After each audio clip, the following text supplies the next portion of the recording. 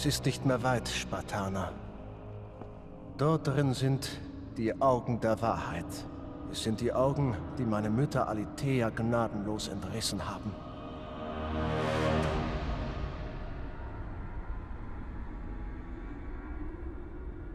Als ich vom Plan meiner Eltern erfuhr, den Olymp zu stürzen, wollte ich nicht glauben, was Alithea sagte. Dann zeigte sie mir die Wahrheit. Dass der Kriegsgott die Grundmauern des Olymps einreißen würde. Ich musste sie aufhalten. Alithea und ich wollten Zeus warnen.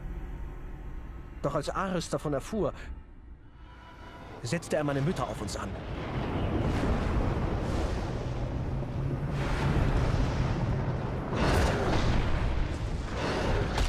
Die Augen wurden meiner Liebsten erbarmungslos genommen.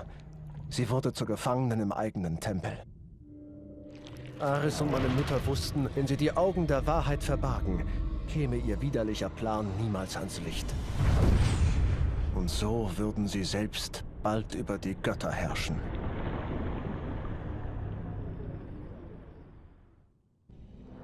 Damit ihr Plan gelingt, brauchen sie dich zurück, Spartaner. Sie werden alles tun, um dich zu Ares zurückzubringen. Ares wird sich einen anderen Sklaven suchen müssen.